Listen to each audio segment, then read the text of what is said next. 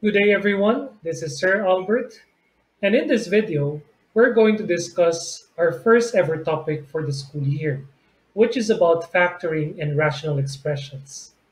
Now these terms might already scare some of you because you're unfamiliar with them.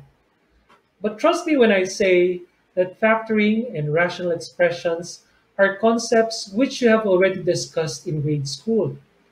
When we talk about factoring, for example, it is simply expressing a particular expression as a product of prime factors.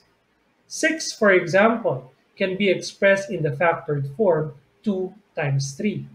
And that is what factoring is all about. Rational expressions, on the other hand, is nothing but about fractions. So you see, these are actually concepts which you have already discussed in grade school. The only difference for this school year is that we're going to extend what you have known in grade school into concepts related to algebraic expressions.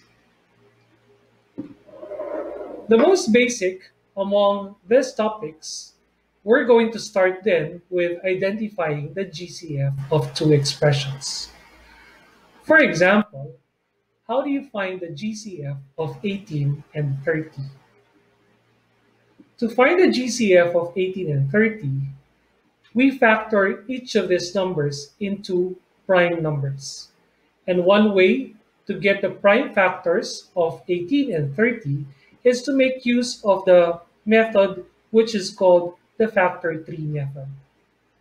In the factor tree method, all you are doing is to express a number as a product of prime factors.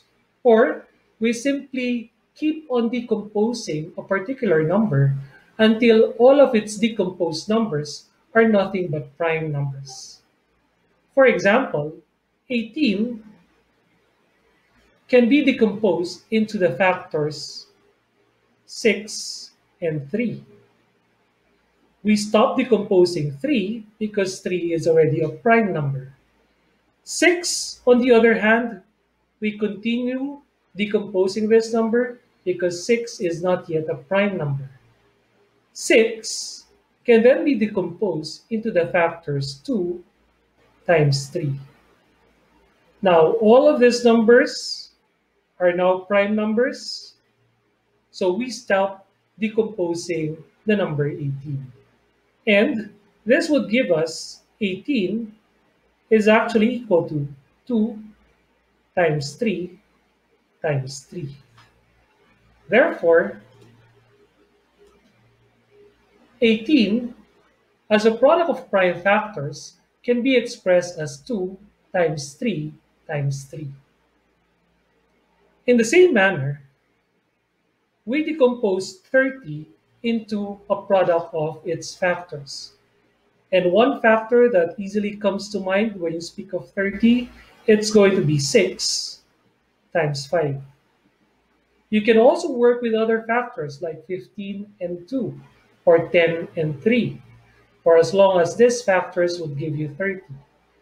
Here in my example, 6 and 5, we stop decomposing 5 because 5 is already a prime number. We continue to decompose 6 on the other hand because 6 is not yet a prime number.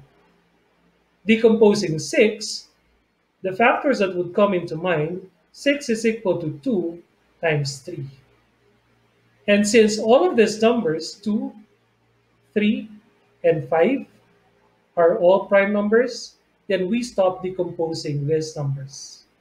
Therefore, 30 is actually equal to 2 times 3 times 5.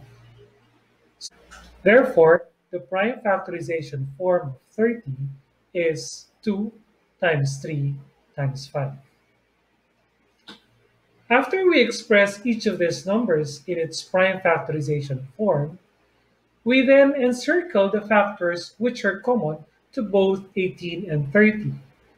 We would see here on the right that both numbers 18 and 30 have 2 and 3 as common factors.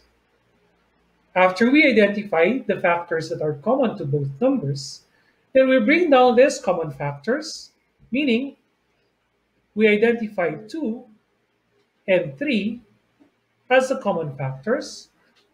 Multiplying these numbers will give us the GCF and 2 times 3 is equal to 6.